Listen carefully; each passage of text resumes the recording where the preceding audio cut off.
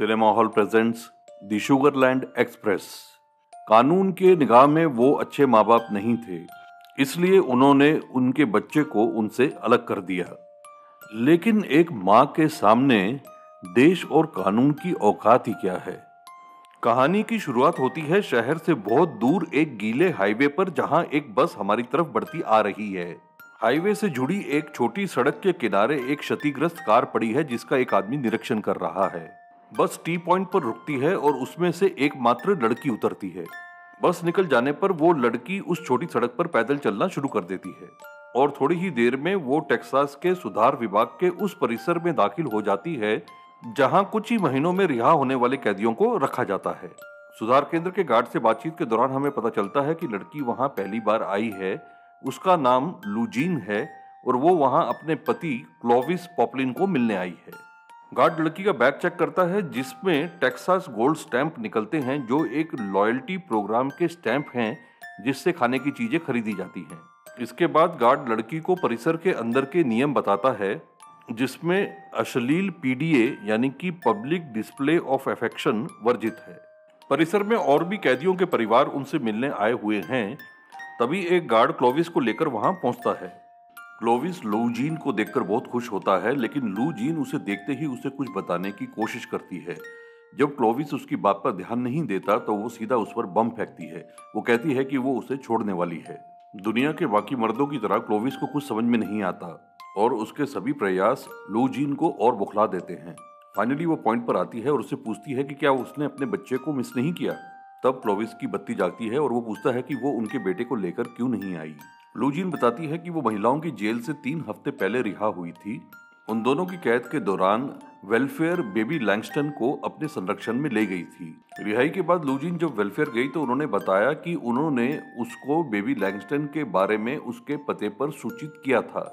लेकिन लूजिन अब उस पते पर रहती ही नहीं है। बच्चे की माँ से कोई जवाब न मिलने के चलते वेलफेयर ने बच्चा एक संपन्न फॉस्टर परिवार को दे दिया था। क्लोविस और लूजिन वेलफेयर के इस व्यवहार को समझ नहीं पाते। लूजिन को किसी भी कीमत पर अपना बच्चा वापस चाहिए और वो क्लोविस को बताती है कि इस समय उनका बच्चा शुगरलैंड में है। वो क्लोविस से इतना ही जानना चाहती है कि क्या वो उसके साथ है, जिसमें क्लोविस हामी भर देता है। लूजिन पूरी तैयारी करके आई है, उसके पास बस के टिकट भी हैं शुगरलैंड से एलए के लिए, जहाँ वो क्लोविस और बेबी लैंगस्टन के साथ अपना घर बसाना चाहती है। इससे पहले कि क्लोविस अपने आप को संभाल सके, लूजीन उसे अपने पीछे आने को कहती है। महिलाओं के वॉशरूम को छोड़, लूजीन मर्दों के वॉशरूम में दाखिल हो जाती है। इससे पहले कि क्लोविस संभल सके, लूजीन उस पर टूट पड़ती है। वो क्लोविस को वहाँ से ले जाने की पूरी तैयारी कर कर आई है। क्लोविस के हर सवाल के बदले उसके होठों को सी दिया जाता है। लूजीन के बैग में कुछ नहीं था, लेकिन वो कपड़ों की दो परतें पहनकर आई है। क्लोविस जेल से भागना नहीं चाहता क्योंकि उसकी सजा के सिर्फ़ आखिरी चार महीने ही बाकी हैं। लूजीन उसे चेतावनी देती है कि अगर आज वो उसके साथ नहीं आया तो ये उनकी आखिरी मुलाकात होगी। यहाँ क्लोविस उसके हट के सामने हार जाता है।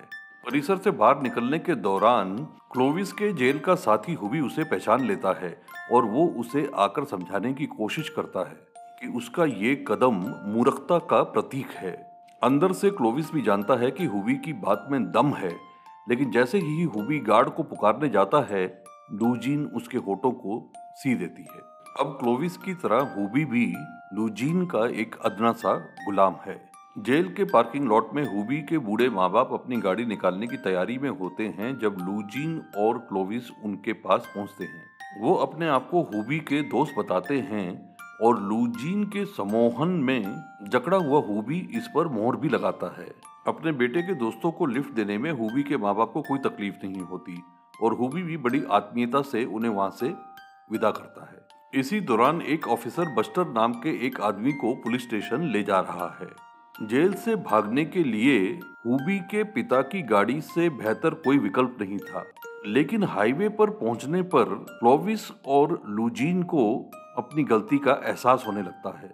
एक के बाद एक पीछे की सभी गाड़ियाँ उन्हें ओवरटेक कर लेती हैं और फिर पुलिस अफसर की गाड़ी एकदम उनके पीछे आ जाती है। अफसर उन्हें गाड़ी साइड में लगाने को कहता है।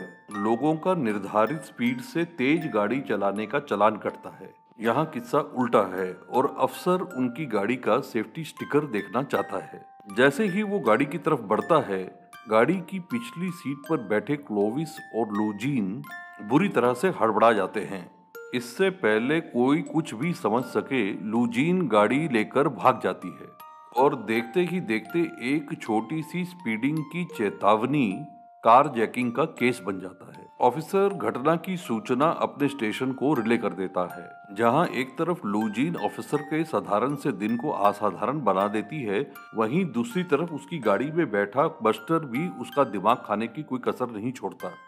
लूजिन अब किसी के भी हाथ आने वाली नहीं है, और वो हुबी के पिता के खटारा को भी रेस कार की तरह दौड़ाने लगती है।